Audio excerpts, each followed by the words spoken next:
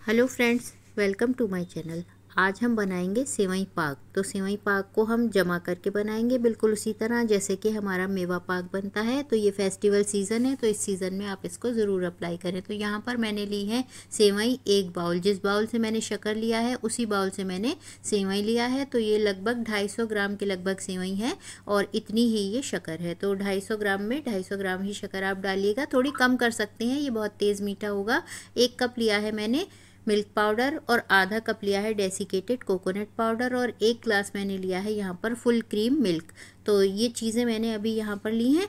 इसके बाद मैं जो भी चीज़ें इसमें ऐड करूँगी तो आपको दिखाती चलूँगी। तो सबसे पहले मैंने शक्कर को पीस लेना है, चार छोटी इलायची डालने के बाद। तो दूध देखिए मैंने फुल क्रीम लिया है और इसको मैंने थोड़ा सा हल्का सा गुनगुना कर लिया था, बहुत हल्का मामूली शक्कर को मैंने पीस लिया है। अब चलिए हम वन बाय वन इसमें सब चीज़ें मिक्स करते हैं। तो दूसरा बाउल लेंगे, उसमें हम सबसे पहले अपनी सेवई डालेंगे। ये रोस्टेड सेवई होती है, बहुत बारीक वाली सेवई लीजिएगा, मोटी सेवई आप ले लेंगे ना तो वो गल नहीं पाएगी। इसलिए मेन बारीक सेवई लेने की वजह है कि आपकी इसमें गल जानी चाहिए। ये देखिए, आप डालेंगे नारियल बुरादा उसके बाद मिल्क पाउडर सारी चीज़ें वन बाय वन ऐड करते जाइएगा, देखते जाइए मैं किस तरीके से कर रही हूँ और ये शक्कर मेरी पिसी हुई, इलायची मैंने इसी में पीस ली है। तो शक्कर पीसने के बाद ज़्यादा हो जाती है। आप शक्कर कम भी कर सकते हैं क्योंकि ये फुल मीठा है, आप कम कर सकते हैं। दूध एक गिलास मैंने फुल क्रीम लिया है और एकदम से सारा दूध आप मत डालिएगा थोड़ा सा रोक कर चलिएगा और उसके बाद अच्छे से मिक्स कर लीजिएगा, फिर फुल दूध डाल दीजिएगा। तो इस तरह से आपका जो दूध है ना, वो अच्छे से पता चल जाएगा कि आपका जो बैटर आप तैयार कर रहे हैं, वो कितना थिक है। तो इसलिए मैं कह रही हूँ, आप एकदम दूध ना डालें और हल्के हल्के स्पून से आप इसको मिक्स करते जाइएगा। हाथ से भी कर सकते हैं, बहुत अच्छा हो जाता है हाथ से, स्पून से थोड़ा टाइम लगेगा, इसलिए आप, लेकिन मैंने यहाँ पर स्पून से ही किया है, हाथ काफ़ी मीठा है, इसलिए अजीब सन जाएगा, इसलिए। अब ये वन पिंच हम यहाँ पर कलर लेंगे, यहाँ पर ऑरेंज फ़ूड कलर मैंने लिया है। जो लेमन येलो वाला होता है, उसको लिया है मैंने यहाँ पर। तो फ़ूड कलर ऑप्शनल है, आप हटा भी सकते हैं इसको, लेकिन जो है ना, इसका बहुत अच्छा सा कलर आएगा। जब ये कुक होके आएगा ना तो इसलिए मैंने यहाँ पर इसे ऐड कर दिया है, वरना हल्का सा कालापन इसमें आ जाता है तो अच्छा नहीं लगता है। तो ये बहुत ही ज़बरदस्त बनता है। अब देखिए मेरा ये है बेकिंग मैंने पाउडर लिया है यहाँ पर, बेकिंग पाउडर हम इसलिए ले रहे हैं कि ये जो हम अपना सेवई पाक बनाएँगे ना तो वो थोड़ा सा हमारा फ्लफ़ी होना चाहिए, एकदम से वो बैठ नहीं जाना चाहिए, थोड़ा फूला फूला होना चाहिए तो बेकिंग पाउडर से ये हो जाएगा। इसमें इसलिए आधा चम्मच बेकिंग पाउडर ज़रूर ऐड करिएगा। अब देखिए, आधा बाउल मैंने लिया है यहाँ पर घी। घी थोड़ा आप कम भी कर सकते हैं, क्योंकि हमने जो दूध लिया है, वो फुल क्रीम लिया है मिल्क पाउडर भी लिया है तो ये सारी ही चीज़ें हमारी रिच हैं तो आप थोड़ा घी यहाँ पर कम कर देंगे तो कोई उसका इशू नहीं होगा। तो अब इसके घी डालने के बाद भी आप अच्छे से इसको मिक्स कर लें। सारा घी एक तरफ़ नहीं आना चाहिए। अब जाएगा इसमें रोज़ वाटर दो बूंद लीजिएगा। ये रोज़ वाटर नहीं है रोज़ एसेंस है तो आप इसको इसमें मिक्स कर दीजिएगा। तो इसके बहुत ही अच्छी इसमें खुशबू आएगी। तो अब इसको अच्छे से आप मिक्स कर लें। अच्छे से मिक्स करते जाएँ, क्योंकि इसका मिक्स होना बहुत ज़रूरी है। अच्छे से चलाते रहें, बिल्कुल एक सा हो जाना चाहिए, बिल्कुल रनी वाले टेक्सचर पे आ जाना चाहिए। अब हम लेंगे एक मोल्ड जिसको देखिए मैंने ग्रीस करके थोड़े से काजू इसके बेस में लगा दिए हैं। उससे ये होगा ना कि जब हम इसको डीमोल्ड करेंगे तो ये ईजीली आ जाएगा बाहर निकल करके। तो अब देखिए इसमें इसको ऐड करना है। तो थोड़ा आराम से ऐड करिएगा, वरना ये काजू एक साइड आ जाते हैं। मेरे साथ ऐसा हो गया था तो आप थोड़ा थोड़ा डालिएगा, ताकि आपके साथ ऐसा ना हो। आपका काजू एक तरफ़ ना आए। तो देखिए, अब इसको एक सा फैला लीजिएगा इस तरीके से। और ये बिल्कुल एक सा हो गया है। अब जब तक ये हम इसको सेट कर रहे हैं ना, हमने भगोना जो है वो गैस पर चढ़ा दिया है प्री हीट होने के लिए। तो आप कोई भी उसमें प्लेट या कटोरी कुछ भी रख दें, जिसके ऊपर आपका ये मोल्ड है ना सेट हो जाना चाहिए। तो देखिए, इसको हल्के से थपथपाइए, बिल्कुल एक सा हो जाना चाहिए। और अब हमने अपने प्री हीटेड भगोने की तरफ़ चलना है और उसमें इसको सेट कर देना है हमने।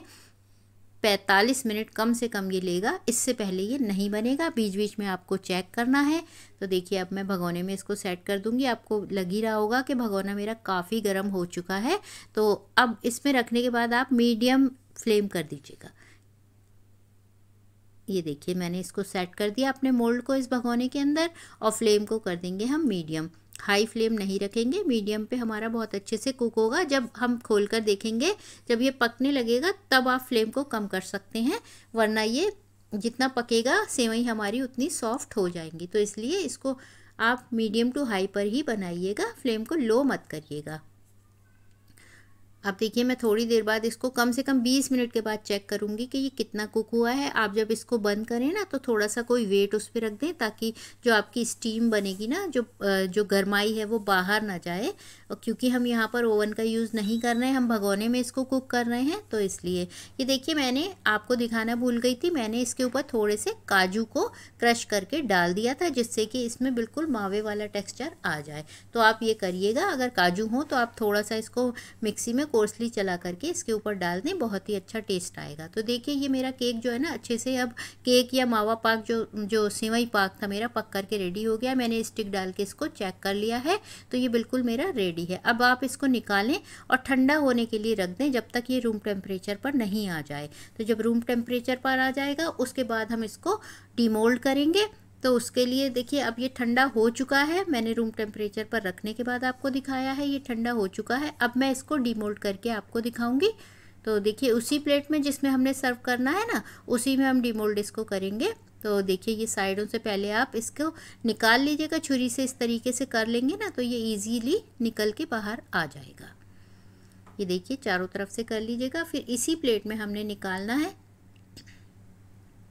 इसको पलट दीजिएगा इसी के ऊपर और हल्के से टैप टैप करके आप इसको निकाल लें। ये आराम से निकल आएगा और बहुत इजीली निकल आया था ये। ये देखिए, क्योंकि ये सॉफ्ट टेक्सचर में बना हुआ है हार्ड नहीं है, इसलिए इसके टूटने के चांसेस भी नहीं हैं। आराम से निकल आएगा। ये देखिए, अब मैं इसको पहले कट लगाऊँगी। आपको कट लगा के दिखाऊँगी तो आपको आइडिया हो जाएगा ये कितना सॉफ्ट हमारा सिवई पाक बन करके रेडी हुआ है। फेस्टिवल सीज़न है तो आप इस सीज़न में इसको ट्राई ज़रूर करिएगा, क्योंकि मेहमानों का आना जाना लगा रहता है तो आप इसको ज़रूर घर में बनाएँ और अपने मेहमानों के साथ इसको इंजॉय करें। देखिए, मैंने कट लगा लिया, ये बिल्कुल बहुत ही शानदार तरीके से कट भी गया है। अब मैंने थोड़ा सा बादाम और थोड़ा सा पिस्ता बारीक कट करके इसकी गार्निशिंग करनी है, जो मैंने पहले से कट करके रख लिया था आप जो भी ड्राई फ्रूट पसंद करते हो, वो इस पर लगा सकते हैं। तो देखिए, ये कितना खूबसूरत लगने लगा एकदम से।